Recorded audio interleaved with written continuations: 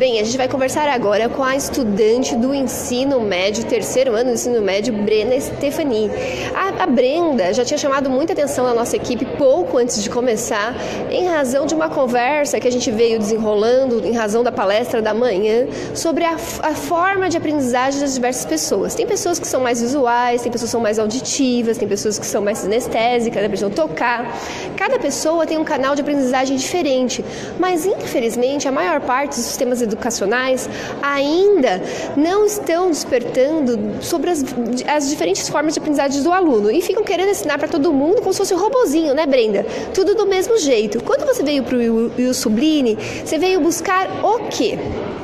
Eu vim buscar é, mais especialização, eu vim em busca de conhecimento, ampliar é, o meu método de ver o mundo. Então eu vim justamente para conhecer mais coisas, não só para só olhar, para ter um olhar diferente das coisas através do conhecimento. Como você ficou sabendo do, do, do da, dessa programação desse final de semana? Um, o o Will Sublime, ele parece que tem uma parceria com é, o meu curso de programação de web e acabou que ele cedeu ingressos é, de graça, gratuito, para alguns alunos. E eu me candidatei a vir e acabei indo só nesse domingo, sábado eu não pude vir. E hoje em dia você está satisfeita com o ensino que você recebe na escola convencional? Como é que você vê esse ensino? Porque você está me contando que parece que tem alguma coisa que você faz de diferente de outros estudantes que chamou a atenção da nossa equipe. É, eu não gosto muito do método de ensino porque ele parece muito individual, sabe?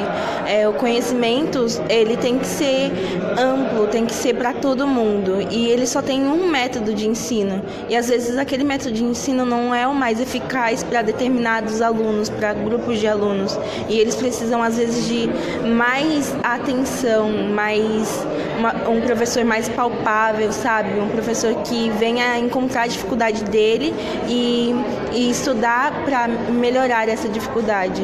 E isso me entristece muito vendo que tem alunos que têm essa dificuldade e não são diagnosticados e nem vistos pelos professores, eles só seguem matéria como cumpre grade, mas não se preocupa com o indivíduo em si, né? Passa, passa, passa a programação e não se preocupa com o indivíduo em si. Para você ter uma, uma, ideia, além dela chamar a atenção da nossa equipe e da equipe do Instituto Vem Saber também, a Brenda acabou de ser eleita dentre todo mundo que estava aqui, pessoas com formação, MBA, inglês, espanhol, dentre todas as pessoas que estavam aqui, a Brenda foi a eleita a nossa líder. Por que você foi eleita a nossa líder? Qual foi a frase que você conquistou a votação de todo mundo? E olha que foi uma votação bem difícil.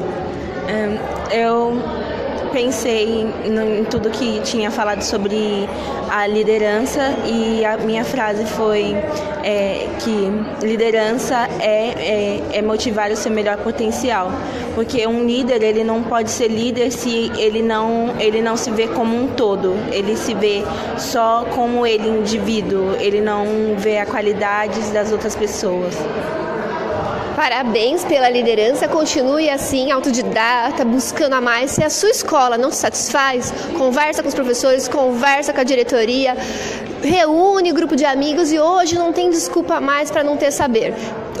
Foi sábado e domingo de evento levando saber, desenvolvimento corpo e mente e agora tem tecnologia. A gente está entrando aí ao vivo pelo Facebook. O poder do conhecimento está em suas mãos. E o Sublime. Continue acompanhando Notícia para Trabalho e até mais.